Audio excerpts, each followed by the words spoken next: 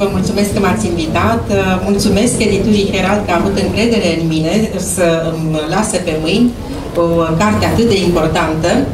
Am mai tradus cândva de mult o, o, o biografie a lui uh, Jung, care m-a supărat pentru că autorul nu-l iubea pe Jung și uh, a scris sute de pagini, vreo 400, în care îi găsea tot felul de defecte la fiecare pas și atunci eu la sfârșit m-am întrebat de ce ori mai fi scris el cartea despre cineva care era așa de rău. Uh, fără nicio îndoială, cartea pe care uh, am primit-o spre traducere de la editura Herald este una dintre cele mai captivante cărți pe care le-am tradus din anul 1970 încoace.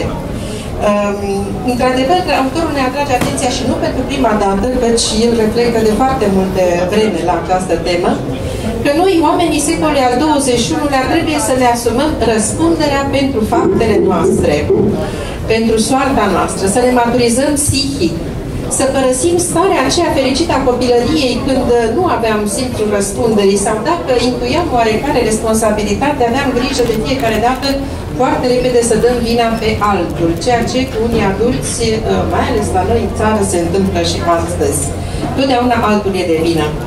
Uh, autorul spune că în uh, istoria omenirii, faza copilăriei psihicului omenesc este antichitatea, cu mitologia ei complexă, în care răspunzător pentru nesăbuința și lipsa de cumpătare a oamenilor erau alții, erau zei.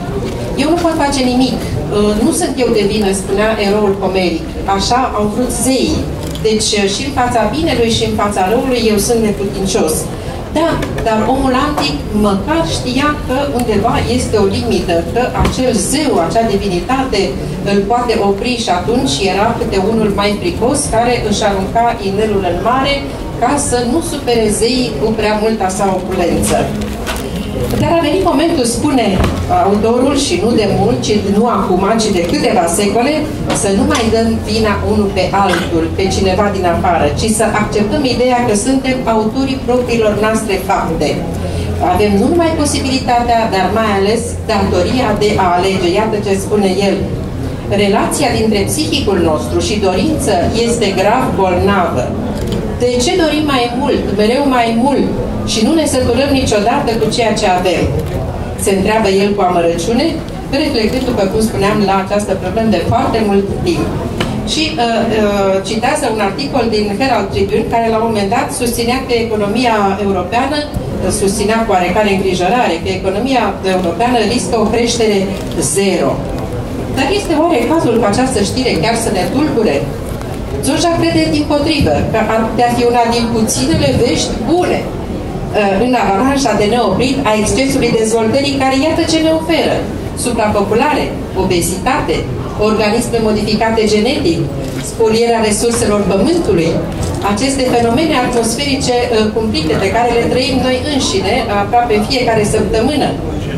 Nici o altă specie de pe pământ, ne spune Zoja, nu dă dovadă de atâta aroganță, de acel hibris, cum o numeau anticii, ca specia umană. Și aici, în paranteză, ca să uh, nu dau dovadă de atâta aroganță și să cred că toată lumea mă cunoaște, eu mi-am spus în piept numele. Ca să știți cine sunt. Așa, deci, spune Zoja, în colectivitățile de animale sălbatice, există un control foarte strict al nașterilor. Numai femela alfa are voia să se mulțească. Dacă alte femele din comunitatea respectivă încearcă acest lucru, ele sunt excluse și condamnate firește la moarte. În acest sens, autorul spune cu oarecare umor firește că singura cucerire cu adevărat lăudabilă a societății moderne este probabil controlul nașterilor, acea pilulă anticonceptivă, din păcate folosită cam numai în civilizația occidentală. Iată ce ne mai spune. Omul modern nu știe să se înfrâneze, nu știe ce este aceea limita. Și de aceea recurge la soluții la care vin tot din afară. Soluțiile lui nu vin din interior. Iată, de sute de ani, de sute de ani oamenii s-au luptat ca să aibă ce mânca. Cu alte cuvinte, au cam rămâzit, au cam murit de foame. Din când în când au făcut câte o revoltă, au făcut câte un război și până iar au flămăzit. Astăzi este invers. Oamenii mănâncă mult mai mult decât este necesar ca să supraviețuiască, ajung la greutăți incredibile, de 400 de kilograme, nu se mai pot mișca, iar în această situație, soluția care este? Nu înfrânarea, nu schimbarea dietei, nici vorbă. Deci nu o alegere personală, ceva care să țină de noi, de voința noastră, ci un ajutor venit din afară. Adică așa numita chirurgie bariatrică. Uh, cu alte cuvinte, scurtarea dimensiunilor aparatului digestiv. Deci, la o problemă de hipernutriție, aplicăm o soluție de hipertehnologie. Uh, și uh, cunoaștem foarte bine situația de astăzi, când pacientului se prescriu fel de fel de pastile pentru nenumărate boli, la sfârșit îi se adaugă încă o pastilă ca să ajute ficatul extenuat de atât de multe pastile. Nu? Deci ne îndeamnă autorul să ne folosim arma cea mai puternică pe care o avem la dispoziție și cu care putem înfrunta orice și aceasta este gândirea noastră. Mintea iscoditoare a omului, discernământul, înțelepciunea pe care numai specia noastră le posedă. Să învățăm ce înseamnă înfrânarea și smerenia.